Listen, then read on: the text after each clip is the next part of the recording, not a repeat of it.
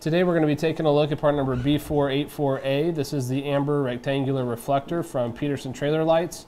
Uh, it's got the nice chrome trim piece that goes around the reflector. It gives it a nice clean finished look. Uh, we're going to go over the measurements real quick, starting with the overall length. Measuring from edge to edge, we can see that's going to measure three and a half inches long. And then the width from edge to edge is going to give us a measurement of one and three quarters of an inch wide. This unit is SAE and Department of Transportation compliant. Uh, it's a very easy installation. All you have to do is locate the area where you want the reflector installed. Make sure it's uh, clean.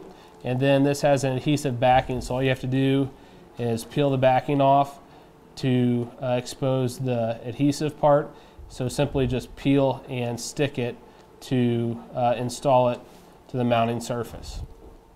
That's going to do it for today's look at part number B484A.